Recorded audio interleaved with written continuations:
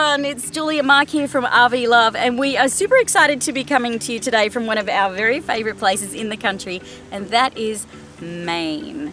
Last time we were here was three and a half years ago when we filmed our 15 month on the road update. Right, and so now we're actually over five years of being full time on the road. And so we are here to do a recap on some of the best experiences, some of our biggest challenges, mistakes made, lessons learned, highlights, favorite places, lots of things that you guys have been asking about for a long time. And that's what this video is about. So stay tuned.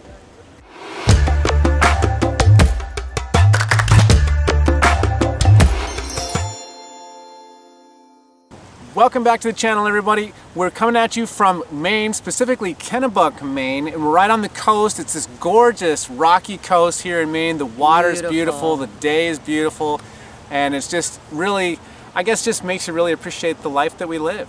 Yeah.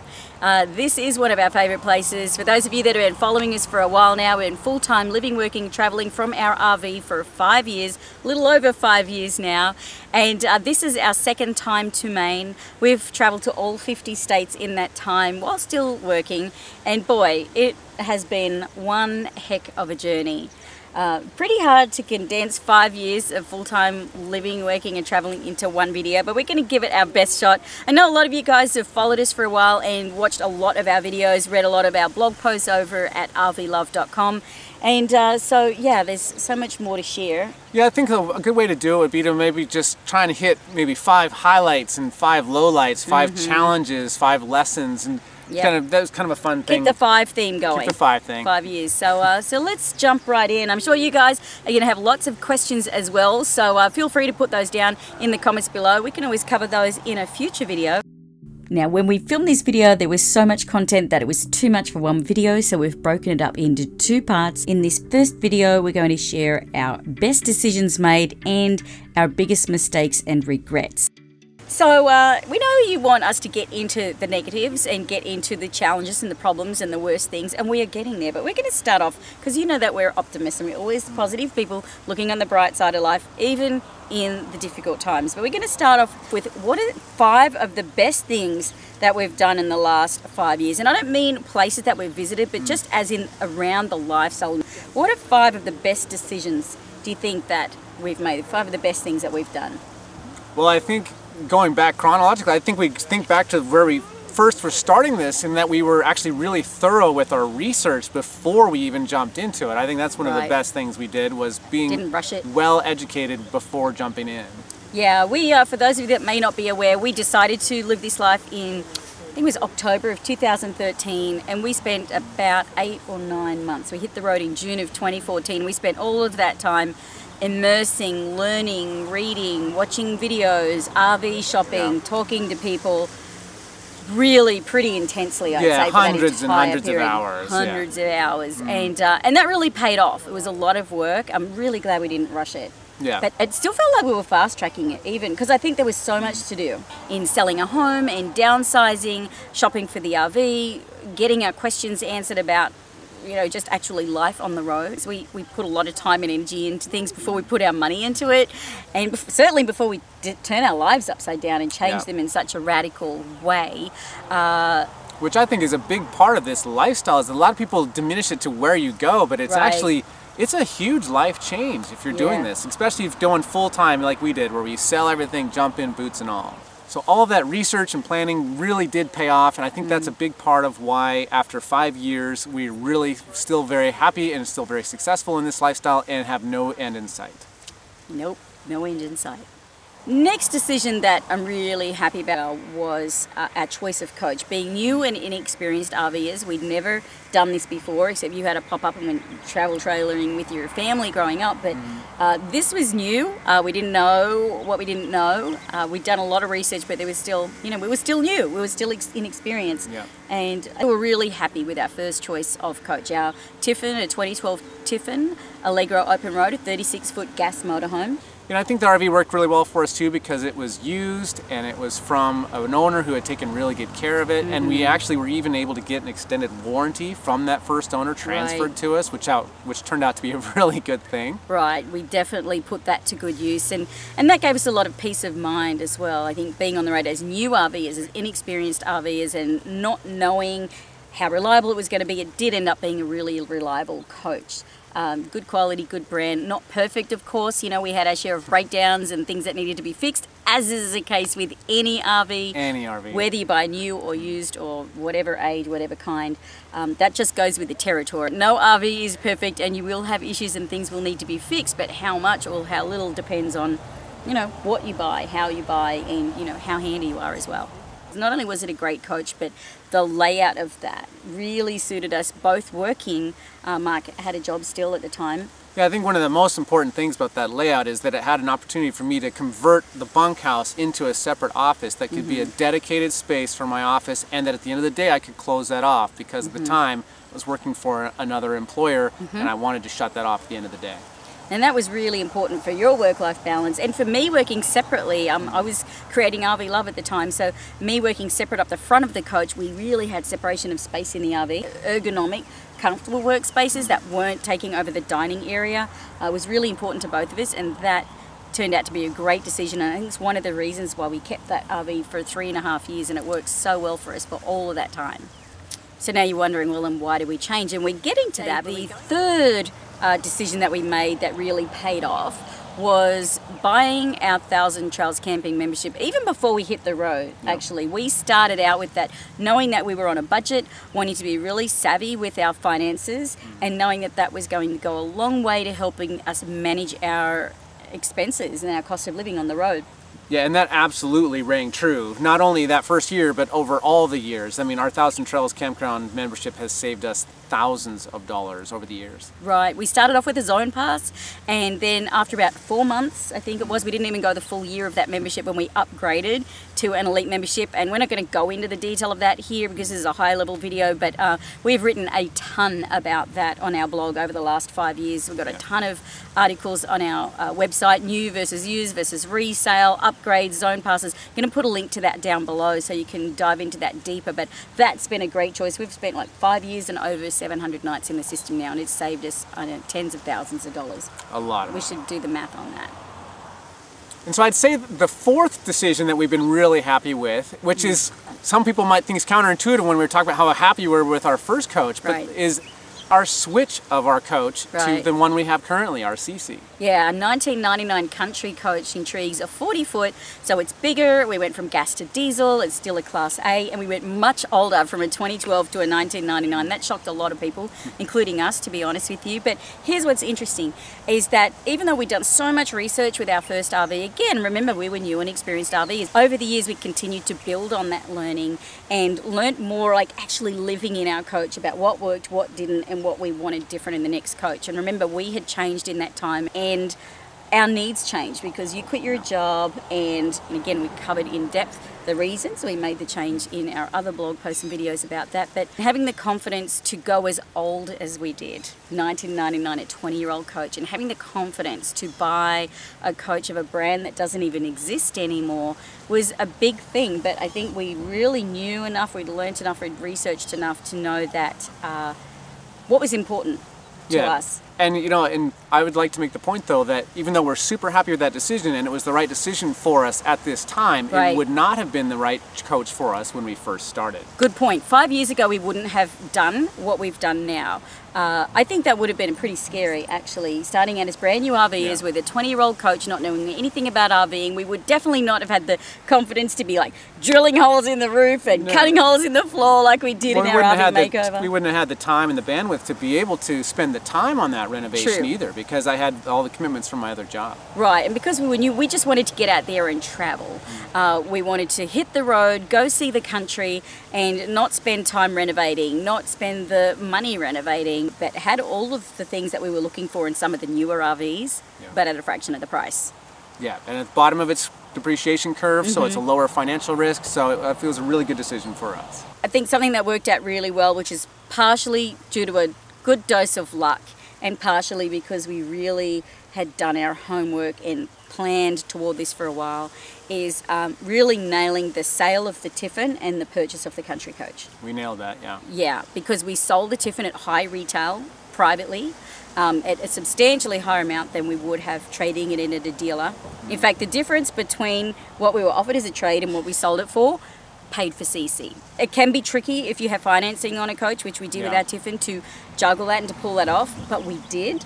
And uh, managed to buy CC at a really low price. And by the way, we didn't get any special uh, deals or anything like that with the dealer. We just negotiated really well because we'd done our homework, we knew what it was worth, and we had an inspection done, knew what the issues were, and we were able to highlight those to negotiate even more aggressively. So we did a good job with that. We did. And being an educated buyer goes a long way when you're purchasing. Yeah, literally pays. So our fifth decision that we're really happy with is making upgrades to our RVs.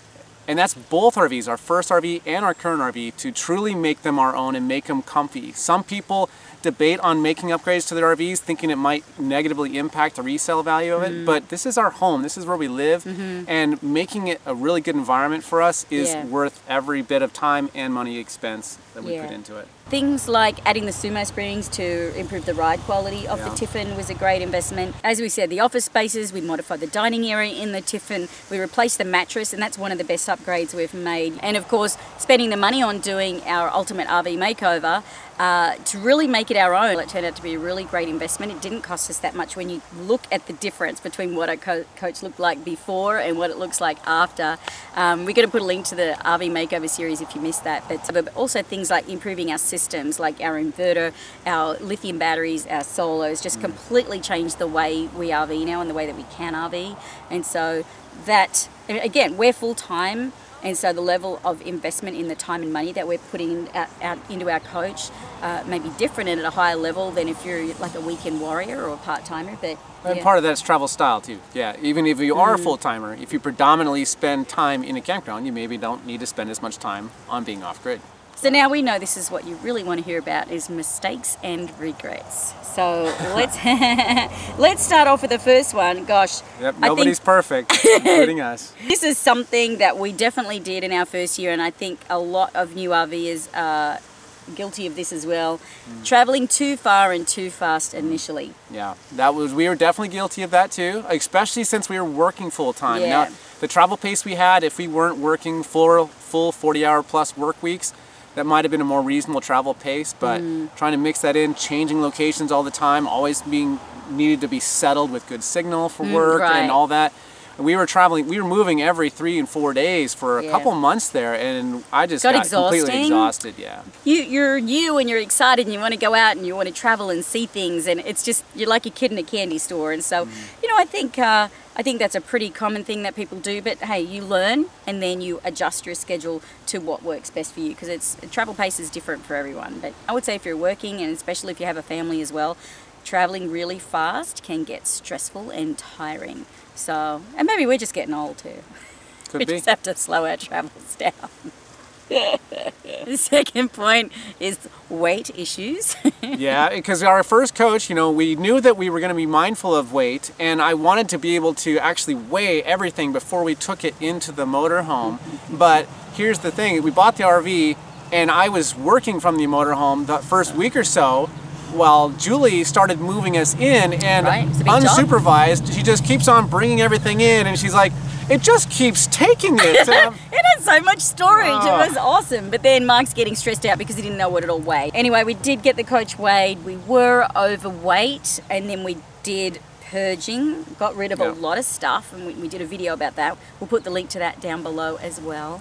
But uh, Yeah, we were we were overweight, but we weren't grossly overweight. And I also made some improvements to the coach to be able to handle weight. Made some suspension upgrades with sumo springs. I got better tires and and just being mindful of how I drive it. Really being mindful in how I drive it, being very gentle with it, and even unhooking the car when we're on big grades. I was Yeah. being really careful with it. But and, and we balanced the weight onto all four corners of the coach with a smart way. Mm. So, so you know, we did the best we could. We had a twenty-two thousand pound chassis. I think that you know, looking back, like we knew that that probably was we probably would have liked heavier, but that year that we wanted, it was a 22,000. Uh, we didn't know how much our stuff was going to weigh and how much that stuff really adds up, just even with even with your food and your bodies and your clothes and all of that. And despite all the purging, it does add up. And it was hard to find information out there about how much your stuff was going to weigh. Mm-hmm. And so, you know, I think in hindsight, it would have been better to go up to the next year, which had a heavier chassis. We did make it work for the three years, but you know, just coming up against that weight restriction did get old and did get tiring. It did get old. And that ended yeah. up being one of the reasons we wanted to make the change uh, to CC to our diesel motorhome. Well, my third regret is probably not having a TPMS system from when we first started, a tire pressure monitoring system, because right. I know I'm really big on tire safety, and so mm -hmm. I was super diligent on every time I drove it, and even sometimes mid-drive, I would be checking the air pressures.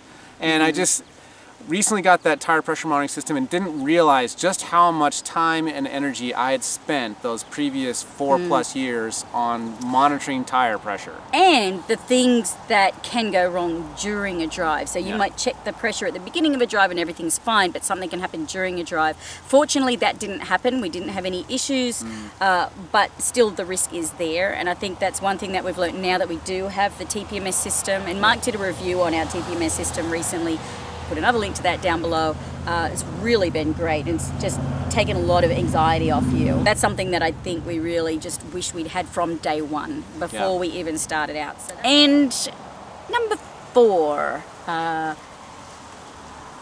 I think trusting a RV GPS like it's like it's meant to be gold or something because it's not. I mean, well, you, you, still have to pay attention to signs. RV GPSs are really beneficial and they will significantly reduce the mm -hmm the challenges you have with your route, but they are not foolproof. They we've right. had ours take us on the wrong routes multiple times, so it's good to use mm -hmm. an mm-hmm. alternate form of route route planning and also we even really like paper atlas to be able to get yeah. an idea where we want to go to. It is still really important to have something that is RV specific, that you can put those yeah. weights and heights and all that mm -hmm. in there mm-hmm. because if you're trying to use a phone like that is you pretending it's a car, you're going to end up with a whole lot more trouble. Like we were just mm. in the mm. Northeast here driving around and our RV GPS was malfunctioning. Yep. And so we're using a phone and you really have to be on it. So you got to mm. watch the signs diligently because it's going to try and take you on roads that will not work. Yeah, so taking the extra time to plan your route and not just rely on RV GPS or a regular GPS like Google Maps or other apps. There, there are other apps out there too. So, you know, good old fashioned uh, Road Atlas is fantastic and mountain directories. We discovered those, I think, a couple of years in, and they proved to be invaluable. Right, especially if you have like a gas-powered RV Class mm -hmm. A or a truck and trailer combination that's near its limits on weight, um, because it's not just climbing the hill. The biggest factor for me is going down the hill and the braking and just mm. being safe, because it's really stressful if you feel your brakes starting to fade and you mm. still have a long way to go down that hill. So a mountain directories is a big part of being aware of where you're going to go and what to expect in your drive ahead so you can really ease peace of mind is big for that. And I think the fifth you know, mistake we made was taking on too much last year in particular. We took on too many external projects that uh, really took us off track and we ended up suffering for that. Our channel ended up suffering, our content, you guys ultimately ended up suffering and that was a really tough year. I would say last year was by far our toughest year ever uh, since we were on the yeah. road. I'd say that's our biggest regret. I mean, the other ones yeah, are pale in comparison to what that cost. That was over everything, our biggest regret overall. But, you know, you live and you learn, and we did learn some valuable lessons through that experience. And, you know, like our work-life balance got off track, which threw our health off track and threw our relationship off track and our general health and happiness off track. And so we've been working really hard all year to just get that back. So many of the things that we set out to do in this life that have kind of fallen by the wayside. Mm and we haven't been doing as much of that driving, having fun, biking, hiking. So we're really focused on doing a lot more of that this year. And I think that lesson is not just for us, it's for everyone, is to be clear on why you're getting into the lifestyle and mm. stay focused on that so that you are really living that life that you originally intended and don't mm. get too distracted by, you know, whether it's working too much or mm -hmm. traveling too fast a pace, but just being mindful of that and help increase your longevity and your joy in the lifestyle. And I think that really hit home for us actually exactly this time last year. It was the 4th of July weekend. Mm. We were in the third and final edit of our book manuscript for Living the RV Life and we are just getting it back to the publisher. And as we read that third and final manuscript, we realized, wow, who we are now and how we feel is so different to who we were and how we felt when we first started out writing that in January, right. February, and by July realizing, gosh, you know, we've really gotten off track with with who we are and what we're about and why we're doing this. And that was really confronting when it we read very, that book and just mm. went, wow, how quickly things can change when you when you let things uh, drag you off track. And so again, that was a valuable lesson. And um, yeah, you'll be glad to know that uh, we've been reversing that trend to get yeah. back to uh, what we love, what we do, and and back to living and loving the RV life. Exactly. That's been a journey in and of itself. And it still is. Still is. Yeah. If you guys have any more questions, please put them down below. We'd love to answer them for you. Thank you for watching. And until next time, see you on the road. Coming up is part two, where we share five challenges and highlights from our five years on the road.